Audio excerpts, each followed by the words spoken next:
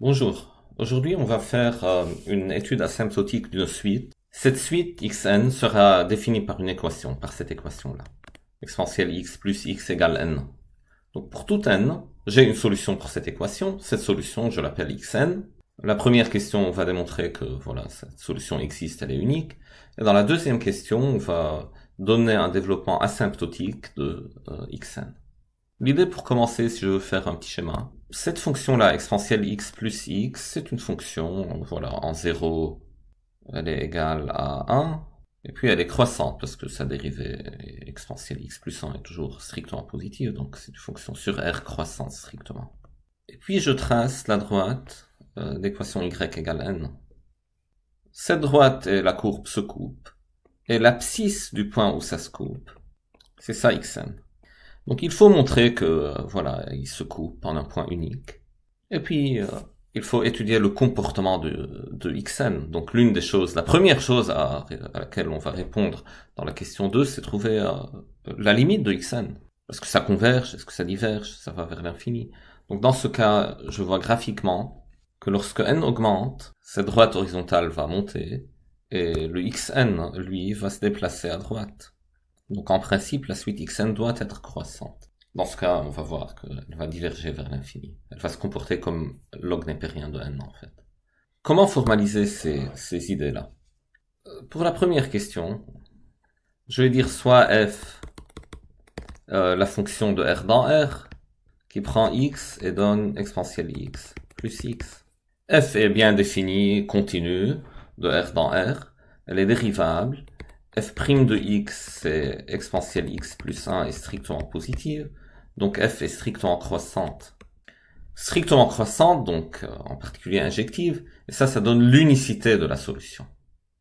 À ce stade-là, je peux dire xn est unique. Parce que il peut pas y avoir deux valeurs euh, xn et x'n dont l'image par f est le même n. Donc n a, admet au plus un antécédent, en fait. Voilà, f est injective. Et cet antécédent, s'il existe, je l'appelle xn. Donc j'ai l'unicité pour cette raison-là. Maintenant, pourquoi xn existe? Ça sera le théorème des valeurs intermédiaires. Je prends un n plus grand qu'un. L'idée, c'est que f prend la valeur 1 au point 0 en fait, f de 0 égale 1, et prend aussi des valeurs plus grandes que n, parce que f tend vers l'infini, lorsque x tend vers l'infini. Et donc par le théorème des valeurs intermédiaires, ça doit prendre la valeur n. Donc je vais dire euh, fixons n, plus grand égal à 1. Je sais que f de 0, c'est égal à 1. Et f n'est pas majoré par n. Parce que f n'est pas borné, parce que la limite en plus l'infini de f, c'est plus l'infini. Je vois que l'exponentielle tend vers l'infini, x tend vers l'infini, leur somme tend vers l'infini. Donc f prend une valeur a strictement plus grande que n. Il y a un x dont l'image est égale à.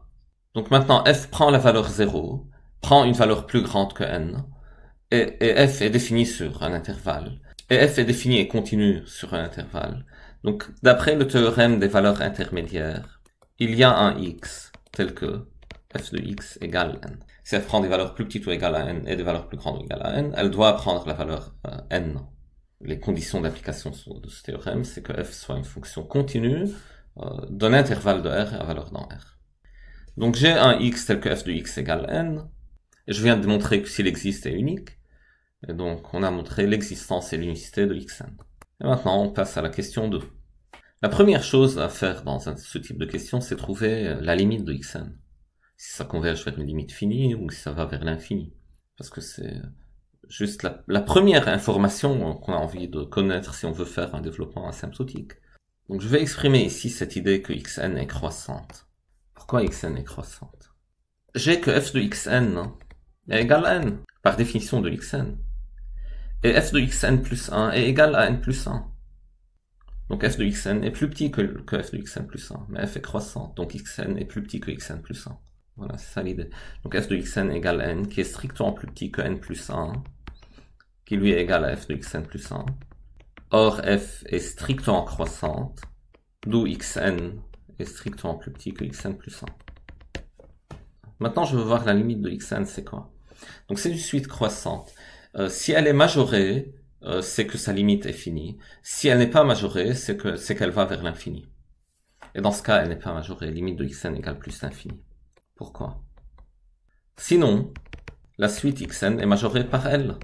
Donc f de xn, la suite de f de xn, serait majorée par f de L. Et là encore, parce que f est croissante, si tous les xn sont plus petits que L, leur image par f doit être plus petite que f de L. f de L sera dans ce cas un nombre, donc si L est réel, donc je fais une preuve par contradiction, xn est majoré par le nombre réel L, f de xn serait majoré par le nombre réel f de L, mais la suite de f de xn, euh, par définition, c'est la suite n. Parce que pour tout n, f de xn est égal à n par définition. Donc la suite des entiers n est majorée par f de L, et ça c'est absurde. f de x5 égale 5, f de x6 égale 6. La suite de f de xk, voilà, elle n'est pas majorée, c'est la suite de tous les entiers. Donc c'est bien, xn va vers l'infini, elle est croissante, strictement. Et ça, c'est la première information à connaître sur le comportement asymptotique. Elle va vers l'infini, vers plus l'infini. Maintenant, je veux savoir comment elle va vers l'infini. Parce que la suite de n au carré va vers l'infini, la suite des log de n va vers l'infini, les exponentiels, les n factoriels, tous vont vers l'infini. Donc ma suite xn, elle va comment vers l'infini? Comme log de n, c'est-à-dire assez lentement, ou comme n factoriel, c'est-à-dire très vite? Et là, pour le premier terme du développement asymptotique, je vais revenir à la condition initiale qui définit xn. Je vais écrire exponentielle xn plus xn, c'est égal à n. Et là, un peu intuitivement, je vais dire, ok, xn va vers l'infini. Mais en plus l'infini, x est négligeable devant exponentielle x. Donc le xn doit être négligeable devant exponentielle xn. Et le terme dominant dans cette expression de gauche, ça doit être le, le exponentielle xn. À droite, le terme dominant, il n'y a pas d'autre, c'est le n. Donc en principe, je dois avoir exponentielle xn est équivalent à n, ou peut-être xn est équivalent à ln de n. Ça doit être ça, mais comment voilà, justifier ça exactement rigoureusement parce que a priori je peux avoir un équivalent à vn ça ne veut pas dire que je peux appliquer une fonction f de un équivalent à f de vn donc je vais mettre ici euh, exponentielle xn en facteur il me reste un plus un terme qui tend vers 0. Donc xn sur exponentielle xn. Ça c'est égal à n. Et maintenant je peux appliquer le log. ln du produit c'est produit de ln. Donc à gauche j'ai ln de l'exponentielle xn, c'est-à-dire xn, plus ln de ce terme-là. Donc ln de 1 plus xn sur exponentielle xn. Et ça c'est égal à ln de n. Et voyez, ce sont des égalités, ce ne sont pas des équivalences. C'est pour ça que je peux appliquer la fonction ln et reste égal. On a intérêt à remplacer les égalités par, euh, par des équivalences qu'à la fin. Juste à la fin, j'écris des équivalences. Parce qu'une fois j'écris des équivalences, il y a beaucoup de choses que je ne peux plus faire. Je ne peux plus continuer mon argument. Maintenant, je, peux regarder les équivalents. Donc, euh, à gauche, l'équivalent, c'est xn. Le terme de gauche est équivalent à xn. Parce que xn va vers l'infini. Et l'autre, ln de 1 plus ça, tout ça, ça va vers 0. Parce que ce qu'il y a à l'intérieur du ln va vers 1. Et donc le ln lui-même va vers 0. Donc le terme dominant à gauche, c'est le terme qui va vers l'infini, c'est le xn. Et le terme de droite, c'est ln de n, donc il n'y a pas d'autre terme à droite. Je peux dire alors que xn est équivalent à ln de n. Donc en première approximation, xn se comporte comme ln de n. Et le ln de n, c'est le premier terme du développement asymptotique de xn. Donc je peux dire que xn, c'est le terme ln de n, plus euh, un terme qui, qui, est négligeable, plus un petit taux de ln de n. Mais je sais que ce terme qui est négligeable n'est autre que moins ce truc-là, moins ça. Je prends de l'autre côté en fait, j'aurai xn, c'est ln de n, moins ce terme-là qui tend vers 0 donc y a même un, petit taux de 1. Donc non seulement il est négligeable par rapport à ln de n, mais il tend vers 0, donc c'est un petit taux de 1. Maintenant, je veux le deuxième terme du développement asymptotique de xn. C'est-à-dire essentiellement, je veux xn moins ln de n. C'est un terme qui tend vers 0. Mais comment il tend vers 0 Comme 1 sur n, comme 1 sur n2, comme 1 sur log de n? Bon, on va voir. Dans ces cas-là, comment on fait? On écrit tout simplement xn c'est ln de n, plus le petit taux de 1, je vais l'appeler un. Et je veux un développement euh, asymptotique de un. Donc je veux écrire un par exemple comme euh, voilà 1 sur n plus euh, quelque chose de négligeable, petit taux de 1 sur n. J'aurai alors que xn sera ln de n plus 1 sur n plus un terme qui est négligeable par rapport à 1 sur n. J'aurai trouvé deux termes du développement asymptotique de xn. Tout ce que je sais, c'est que ce un tend vers 0, parce que je viens de le démontrer. C'est le petit taux de 1. Ça, c'est le un. Donc un, c'est un petit taux de 1. Et maintenant encore, je reviens à l'équation de départ. Donc j'écris exponentielle xn plus xn égale n.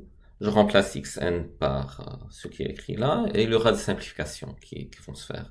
Les termes, les plus grands termes à gauche et à droite de l'équation vont se simplifier. Et il me reste alors euh, suffisant d'informations pour savoir un c'est équivalent à quoi? Exponentielle de, de xn c'est exponentielle de ln de n fois exponentielle de un. Donc ça c'est exponentielle xn. Plus xn, donc xn je le remplace par ln de n, plus un. Ça, c'est égal à n. Donc on a successivement ici, euh, exponentielle de ln de n, clairement c'est n. Exponentielle de un, je sais que, que un tend vers 0, donc, euh, donc exponentielle de un, je peux utiliser le, le, développement limité de exponentielle t pour t au voisinage de 0.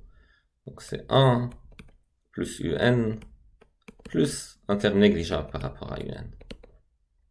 Ça c'est exponentielle de un. Plus ln de n, plus encore un, c'est égal n.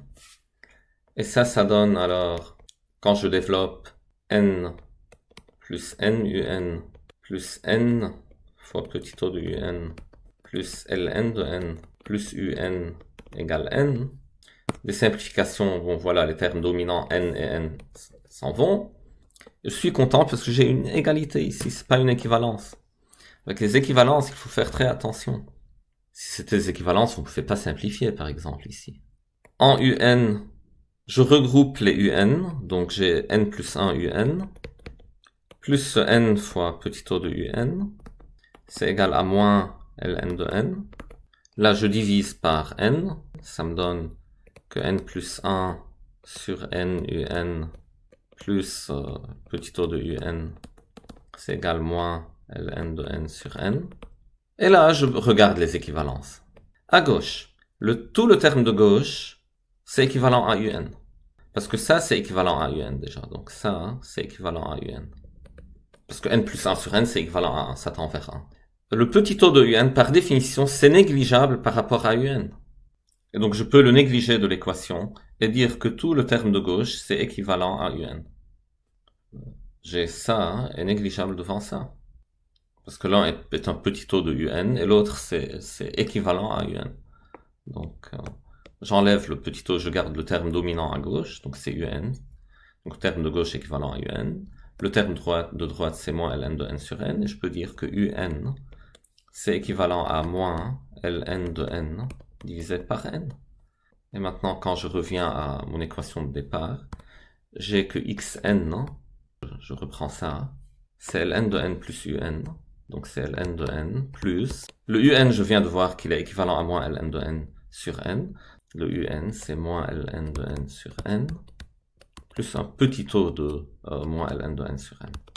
donc xn, c'est, voilà, le terme ln de n, moins ln de n sur n, plus un terme qui est négligeable. Et ces deux termes-là, ln de n moins ln de n sur n, c'est euh, les deux premiers termes du développement asymptotique de xn.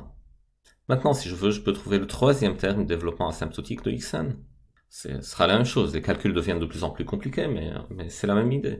J'écris, euh, je garde en tête d'abord euh, l'équation qui définit Xn, qui est exponentielle Xn plus Xn égale n. Et puis j'écris Xn, c'est, voilà, ces deux termes que j'ai trouvés déjà. Donc ln de n moins ln de n sur n, plus un certain Vn. Et l'idée, c'est de trouver alors le premier terme développement asymptotique de Vn. Et ça sera le troisième terme développement asymptotique de Xn. Donc ce qu'on fait ici, c'est on remplace ça dans l'équation précédente. Dans l'équation celle-là, j'enlève Xn, je mets cette expression-là. Il y aura des simplifications qui vont se faire, et euh, je reste avec Vn, une équation qui fait intervenir Vn. Et ça, ça me donne un équivalent de Vn. Et cet équivalent de Vn sera le troisième terme du euh, développement asymptotique de Xn et on peut répéter cette, cette opération pour trouver un développement asymptotique de Xn à l'ordre qu'on veut.